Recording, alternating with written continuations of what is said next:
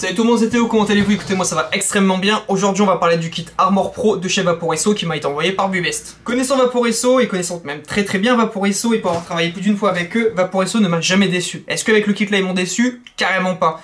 On intègre carrément un petit système de batterie possibilité de mettre du 18150, du 2700, également du 21700. On intègre également un bloc USB de 2 ampères pour faire une recharge très rapide. On intègre sur l'atomiseur qui est fourni avec euh, des nouveaux systèmes de résistance, qui est le système Mesh. C'est tout simplement un système de résistance qui va nous faire une vapeur beaucoup plus rapide. Par exemple, là sur la batterie intégrée, sur le, le kit, tout simplement, on est sur une durée de 0,002 secondes de fire. Comment vous dire que c'est quand même très réactif. L'avantage, comme je vous ai dit, c'est qu'on est sur une box de 5 à 100 watts. On peut intégrer du 20 à 700 au grand maximum. Et là, vous êtes calé pour la journée, ça sans aucun souci. On intègre également un tout petit écran que moi j'adore. C'est vrai que ça passe très facilement dans la poche. Que demander de mieux? 5 clics pour allumer, 5 clics pour éteindre. On ne change pas les bonnes façons. L'inconvénient que j'ai pu trouver à ce petit kit, c'est l'atomiseur. L'atomiseur, à un moment, il faut tourner vers la gauche, vers la droite, etc. C'est un peu compliqué. Même pour le remplissage, on peut voir une toute petite flèche qui est par le dessus.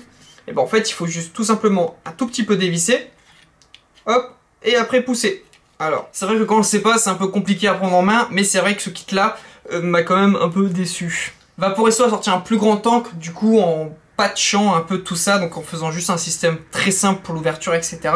Et vous aurez deux compatibilités de résistance, on pourra passer aux très grosses résistances, tout en passant également aux petites résistances qui sont fournies avec celle-ci. En parlant packaging, on tombe sur un packaging très sobre venant de chez Vaporesso. D'un côté, on aura la box, juste en dessous, un câble USB signé par Vaporesso. On est sur de l'USB classique. Et de l'autre côté, on aura une autre résistance qui nous sera fournie avec un bubble et des joints d'étanchéité.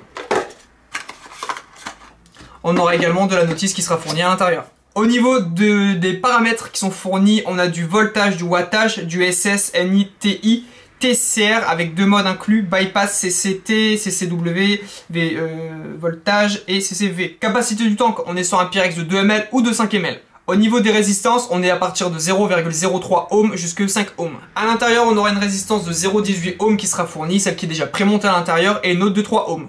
Une autre qui sera fournie en 0,3 ohm directement. Au niveau de la cigarette électronique, je suis vraiment pas déçu, que ce soit de la batterie, etc. La batterie est très petite, elle se glisse très facilement dans la poche et on a limite aucun souci. On a trois boutons principaux, le premier bouton plus, le deuxième bouton moins, le troisième pour entrer dans les menus. On aura également différents tirages, on aura un tirage simple, un tirage un peu plus puissant et un tirage hard. On aura également un système d'horloge qui sera fourni un peu en mode veille, ça c'est plutôt quali.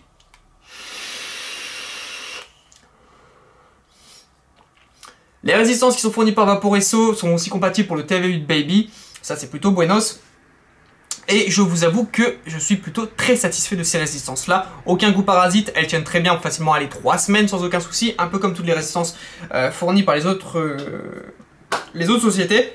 Et je suis très satisfait.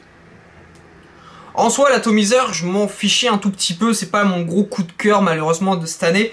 C'est plutôt le Cascade Boom, celui qui ont, comme je vous avais dit, qui ont produit en second en patchant pas mal de choses qui avaient sorti sur celui-ci. Donc principalement, moi je garde uniquement la batterie.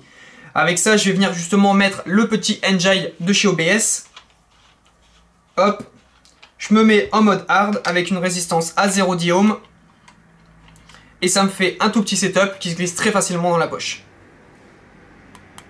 Je me mets à 65 watts.